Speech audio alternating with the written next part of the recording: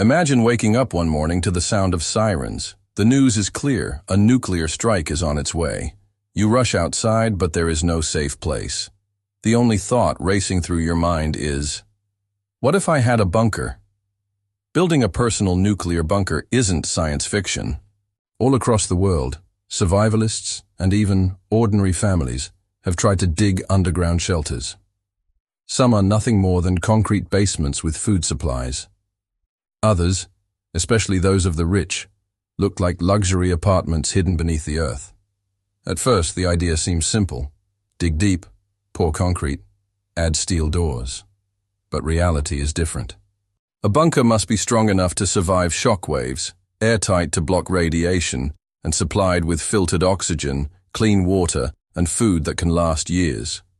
Without these, your bunker is just an underground trap. Experts say an average person would need tens of thousands of dollars just to build a small shelter. And even then, there's no guarantee of safety. Radiation can seep in through the smallest cracks. Water can flood the tunnels. And perhaps the hardest part is the human mind. Living in a small room for months, maybe years, can break even the strongest spirit. So, would a homemade nuclear bunker actually work? The truth is harsh. Some bunkers might protect you from the first blast, but surviving the weeks and months after is another story. Without constant resources and planning, most personal bunkers would fail. Yet people still build them. Why?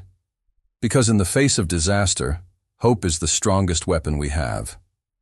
The question isn't just, can a bunker save you? It's, are you prepared to survive?